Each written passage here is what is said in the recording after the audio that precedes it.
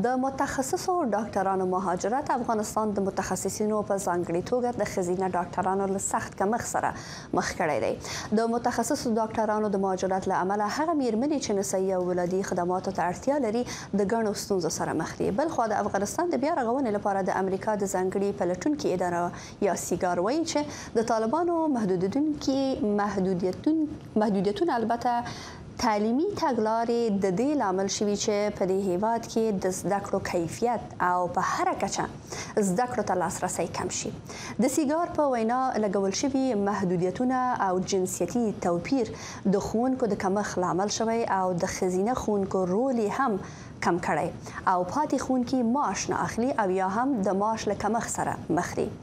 د دې ادارې د راپور له مخې، د طالبانو حکومت په ښوونځیو کې دیني مضامین د ساینسي مضامینو پر ځای ځای پر ځای کړي دي. نن په دې پروګرام کې د مېلمنو سره په همدې ستونزو او اندېښنو خبرې کوم، د ښځو د حقونو فعاله نظیفه جلالي او په لندن کې د پوهنتون استاد ډاکټر محمد اکمل صاحب. تاسو دواړو قدرمنو مېلمنو ته په پروګرام کې ښه راغلاست وایم. ډاکټر صاحب راځي پیل به لدی وکړو چې د افغانستان لرو پرتو سیمو کې د ډاکټرانو یا طبي مسلکي کسانو کمښت ستاسو په نظر څومره جدي دی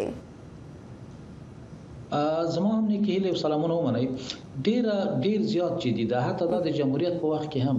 د قابلو کمبوت وو نو د سپلانو چې په 15 راتلونکو کلونو کې پنځه زره قابلو کمبوتو هغه د قابلو د قابلو باوجود دې چې ډیر زمينه د ترننګونو مساعده او یعنی په هر ولایت کې خصوصا د قابلو نرسانو برخه کې زمينه د ترننګونو مساعده هغه شمیر راکاو ولې د قابلو نه په غیر د ډاکټرانو شمیر هم ډیر زیات ډیر زیات کمو فکر وکړئ په نورستان او په زابل په پکتیکا په هغه ولایتونو چې په ټول ولایت په سطح باندې به یو یو ډاکټر درلود له حتی یو ډاکټر به نه و نو قابلي قمبوت یوه برخه ولې د ډاکترانو قمبوت د متخصصینو قمبوت دا هغه هغه ستونزې وي چې تیر جمهوریت هم ډیر زیات سر تر ټکاو ولې اوس متاسفانه چې پوهنتونونه تړل شوي دي مکتبونه تړل شوي دي او ډیر زیات شمیر بدبختانه هیوادوال د هیواد نه وځي دا به دا ناورین کچه ډیره لوړه کی موږ عین یو تجربه لرو په دوه زره او یوم کا دوه زره یو کال کې د دوه زرم کال کې د افغانستان د روغتیايي سیستم شاخصونه چې د میندو د مړینې کچه د ماشومانو د مړینو کچه دومره لوړه و چې په ټوله نړۍ کې د یو مثال نه لیدل کېده د مثال په ډول شپاړس سوه میندې په هر یو له کو ولادتونو کې ژوند له لاسه ورکاو چې اوس دغه کچه ورسته ډیره راټیټه شوله اوس د فکر کیږي چې متاسفانه دا د روغتیاي سیستم شاخصونه چې د میندو او د ماشومانو په صحت پر ډیره اړه لري دا د خرابیدو په حالت کې دي. بله حقمل صاحب ستاسو په نظر یوازې تاسو اوس مخکې د قابله ګانو یادونه مو کړه په افغانستان کې د مختلفو برخو څخه متخصصین وتلي دي ستاسو په نظر یا ستاسو د معلوماتو په اساس د کومو برخو متخصصین له افغانستان څخه وتلي دي څه موده وړاندې موږ یو راپور درلوده چې د زړه ډاکټران یا هغه ډاکټران چې د زړه جراحي یې کوو بیخي هیڅ نشته د ګوتو په شمیر خلک په افغانستان کې پاتې دي او په دې سره ډیر ماشومان یعنی په انتظار دي چې عملیات شي کوم کوم متخصصین د افغانستان څخه وتلي دي دوه موضوع دي یو دا چې څومره وتلې دي یو بل موضوع دا چې اوس هم وځي هغه چې پاتې دي دا چې اوس د ماشوم د انجونو په زده کړه باندې مخنیوي هغه د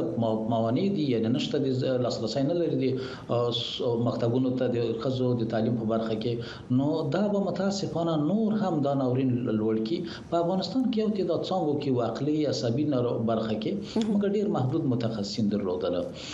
د قلبي په برخه کې ډیر کم متخصصین وو نور هم داسې برخې وي چې په هغه کې نوې کار پکې دی یعنی نوې خلک به ډیر زیات تربیه شي وای هغه که خارج تم د سکالرشپونو لاره د زده کړو لپاره تللی وو باید د زده کړو په تکمیلیدو سره بیرته یې مراجعه کړې وای. متاسفانه اوس موږ تاسې په هیواد کې داسې یو سیستم نه لرو چې هغه متخصصین چې محدود پاتې دي په داخل کې د دوئ د رضایت دپاره د دوئ دپاره ستونزې واوریدل شي او د د تامین دپاره د پاتې کیدو دپاره یوه ستراتیژي ولري. زه چې کله کله دا خبرې اورم چې د سیاسیونو د بیرته تګ دپاره موجوده نظام ستراتیژي لري چې څنګه سیاسیون بیرته مراجعه وکړي د سیاسیونو نه د متخصصینو مراجعه ډیره زیاته مهمه ده. هیله ده چې موجوده چارواکي